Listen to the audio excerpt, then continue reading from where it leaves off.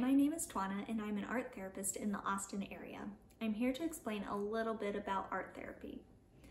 Art therapy is a therapeutic process that allows one to express themselves through art and the creative process for physical, emotional, and mental well-being.